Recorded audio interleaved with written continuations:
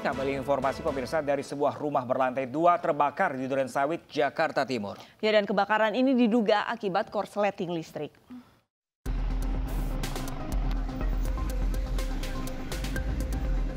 Kobaran api melahap satu unit rumah berlantai dua di Jalan Delima 2 Duren Sawit, Jakarta Timur.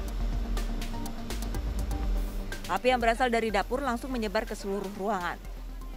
Petugas yang dibantu warga berhasil memadamkan api.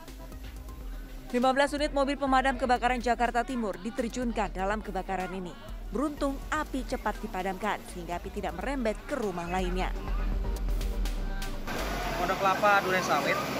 Ini satu unit rumah saja karena ini rumah permanen. Jadi kami terbantu dengan adanya rumah permanen jadi terhambat oleh rumah tingkat. Jadi untuk perambatan tidak merambat ke kiri kanan. Jadi kita kita isolasi dengan cepat. Penyebabnya apa bang?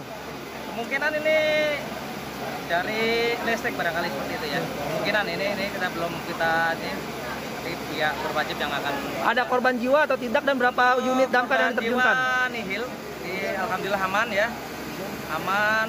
Untuk kerugian kita belum bisa hitung untuk kerugiannya.